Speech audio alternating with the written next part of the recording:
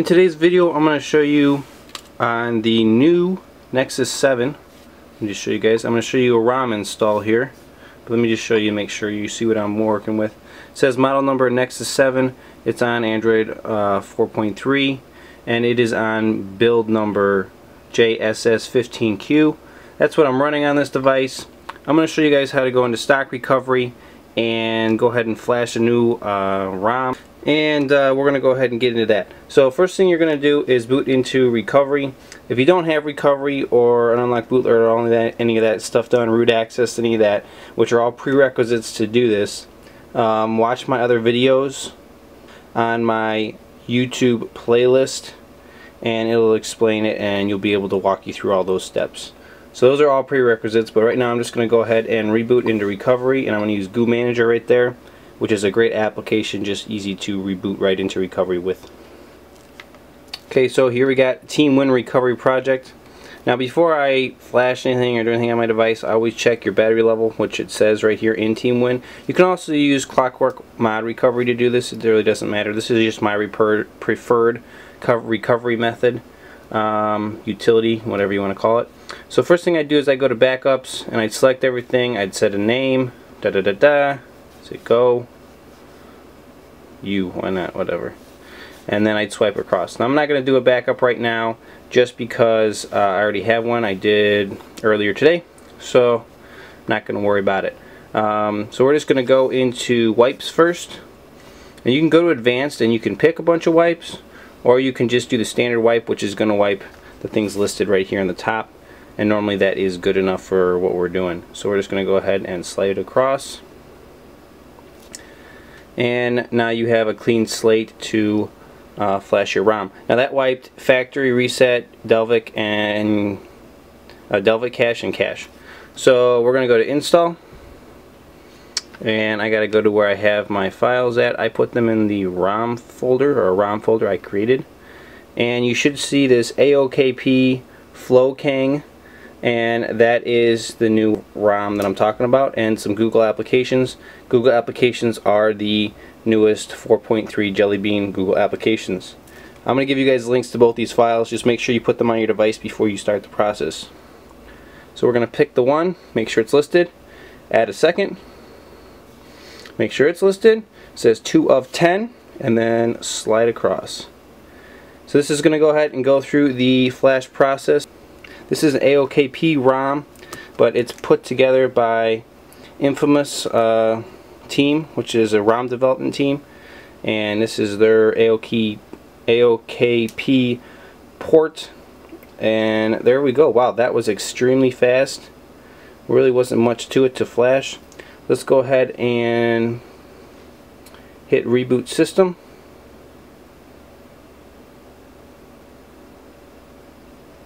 Let's see what we got here for our boot animation.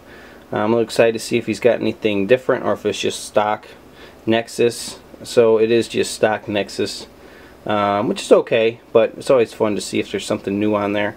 Um, so let's go ahead and see if this AOKP ROM boots up and I'll go through some setup and we'll show it to you.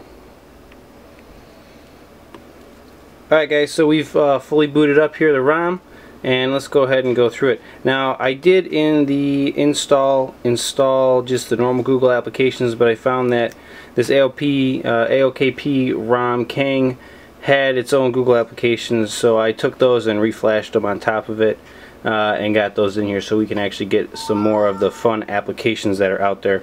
So this is stuff that came included with their version of the Google applications. Adaway, F-Droid, ES File Explorer, my favorite file explorer right there. Infamous Tools, which we'll go through that a little bit. Root, root Browser, Terminal, and Titan Backups along with the, obviously the normal Google applications. So let's go ahead and just go through these really fast. Um, this is one of the things that's pretty neat. You got power user right here and you have all these features that you can do through this application. Um, you have downloads and different stuff for the work that his, this guy has done, Infamous. Um, tools, you know you can go to backup tools and click on these and it's just kind of shortcuts to a lot of applications more or less in there Um, so that's that application. These are all of your launchers that come with this one. I'm using Nova right now. Um, what else can I show you guys? You guys seen this stuff. That's nothing really new. Let's go ahead and check out our settings. We got these toggles right here and we have your notifications. So if we go into settings, one of the cool things you have right here is AOKP dark and I like that look a lot better. So we're gonna go ahead and change it to that uh, that look right there which is very very cool. Just going to show you really quick what we're running here. Like I said Android 4.3 AOKP and then you do have super user built into the settings. That's kind of been true on CM and AOKP ROMs for a little while now. It does come with a theme chooser and you can get your Google Play uh, themes and install them right through there. So right here is your real um, beautiful like awesomeness of this ROM is this quick links and mainly this ROM control. So that's what makes custom ROMs amazing is all the options you have here in ROM controls. I'm going to go over just a couple of them but there's just so much in here it's not even capable of going over all of it. Like we'll do clock and clock's in your top corner. I like to do center clock so you got clock in the center. You also have colors. I don't know, let's say you like green. There, boom. Now you got a green clock in the center on top. Uh, let's see what else we got. Let's do like the nav buttons. So these buttons down here, we'll also make them green.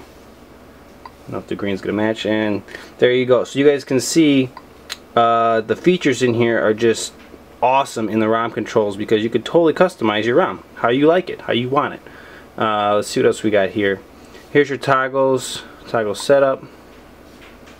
And you got some things you can change there. And some other features. Plenty of other goodies in here as well. You go power menu, turn on screenshots, turn off airplane mode. And power menu is this menu right here. And what's going to pop up right there. Um, let's also go to battery really quick and I like to change the battery to this one. And we'll also do the color that's the battery bar. If you guys have seen that don't show status bar. That's that bar across the top. And we can change the battery bar color to something else we might like. There's a green. And you got that. So you guys can see that this is just super customizable. We're to do always and Nova and very very fun to use. So you go guys. That is my review of AOKP ROM for the new Nexus 7 2013 model. As always check me out right up here on top at rootjunky.com you guys can follow me on Facebook or Twitter on the other side. RootJunky out